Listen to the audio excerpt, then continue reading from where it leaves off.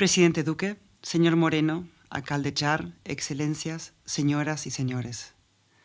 Realmente es un gran placer acompañarlos en el lanzamiento de Foromic 2018.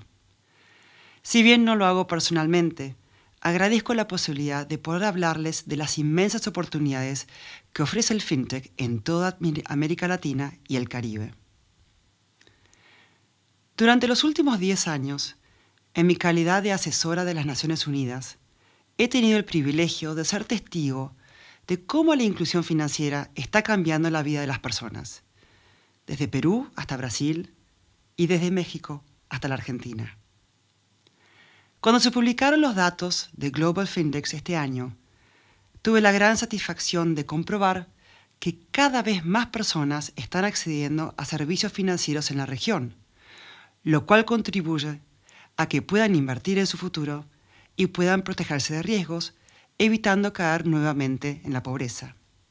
Para darles una idea de cómo ha cambiado el panorama, desde el 2011, el porcentaje de adultos con inclusión financiera aumentó del 39% al 54%. Todos ustedes deberían sentirse muy orgullosos de este importante avance. Sin embargo, aún hoy, hay más de 200 millones de personas en Latinoamérica que quedan fuera del sistema financiero formal. En algunos países incluso ha crecido la exclusión financiera. Es ahí justamente donde FinTech puede constituir un verdadero factor de transformación. La innovación basada en la tecnología está creando nuevas soluciones a través de servicios diseñados según las necesidades y las realidades del cliente y mejorando así su calidad de vida. Permítame compartir un ejemplo con ustedes. En el 2016, durante mi visita a México, conocí a dos jóvenes propietarios de un restaurante, Maragi y Alexis. Gracias a Clip, un nuevo emprendimiento de fintech que vende lectores de tarjetas de crédito que se comunica a través de teléfonos móviles, Maragi y Alexis cuentan hoy con una alternativa más fácil de usar, más barata y más rápido que los dispositivos de puntos de ventas o POS que ofrecen los bancos hoy.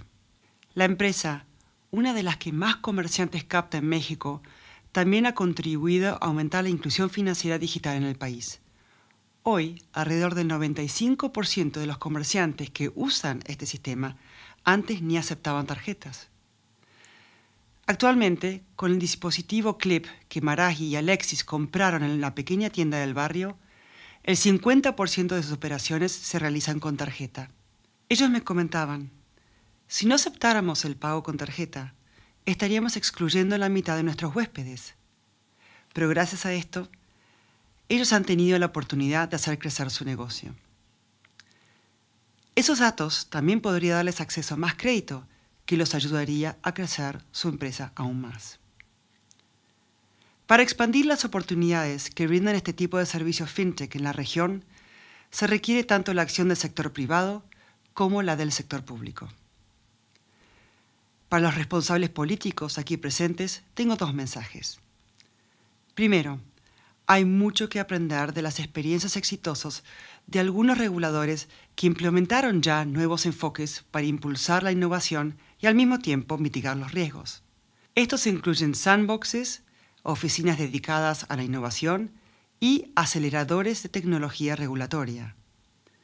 Segundo, es importante contar con personal especializado en nuevas tecnologías que sea capaz de incorporar la innovación dentro de las herramientas de supervisión existentes y diseñar nuevos enfoques regulatorios. Las instituciones de desarrollo, tales como el BID, tienen un papel importante a la hora de proveer soporte técnico y financiero en dicho proceso. Y para el sector privado, también hay un rol importante. En primer lugar, ingresando en este mercado que ofrece oportunidades de negocio. Y también estableciendo buenas prácticas y códigos de conducta que mitiguen los nuevos riesgos y faciliten oportunidades de fintech para generar confianza entre los clientes y garantizar su seguridad. La velocidad y la complejidad de la innovación basada en la tecnología hacen que sea muy difícil su regulación. Por eso hoy, más que nunca, es esencial que los reguladores colaboren con las empresas de fintech a fin de encontrar soluciones adecuadas. Es crucial establecer un diálogo permanente entre las fintechs y los reguladores para poder garantizar un ámbito propicio para la innovación, protegiendo al mismo tiempo a los usuarios y la estabilidad del sistema. Finalmente, si queremos que FinTech funcione para los clientes excluidos del sistema financiero formal o que aún no cuenten con suficientes servicios, necesitamos infraestructura y un conjunto de políticas que permitan el auge de la innovación.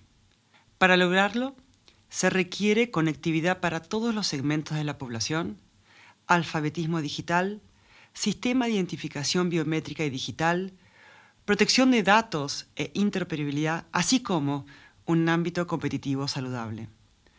Por eso los aliento a todos que trabajen en conjunto, creando así las condiciones propicias necesarias para que toda la región logre el acceso y el uso seguro a los servicios financieros que transformen la vida de sus habitantes.